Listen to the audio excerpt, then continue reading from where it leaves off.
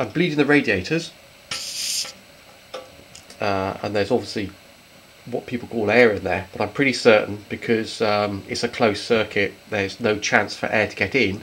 So the gases come from oxidization or rusting of the the steel that makes the radiator, um, and the water. So if the steel is rusting, then that's iron plus oxygen, and if it's getting the oxygen from the water, what's left over is uh, hydrogen.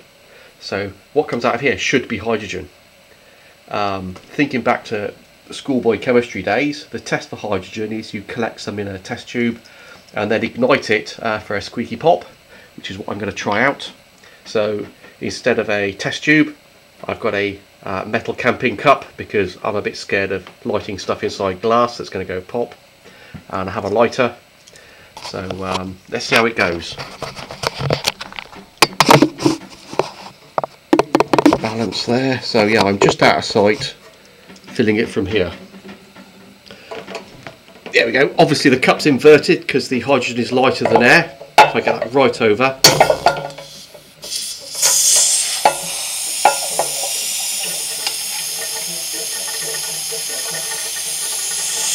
And then because I'm a chicken, I'll shut that off so there's no backfeed could go into the radiator. Oh, what a fucking disappointment.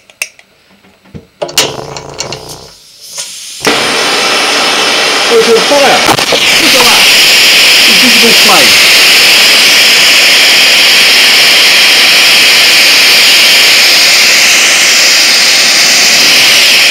Ah!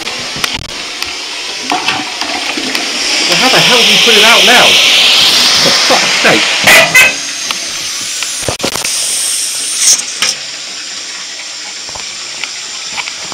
Who'd have thought? Fucking hell.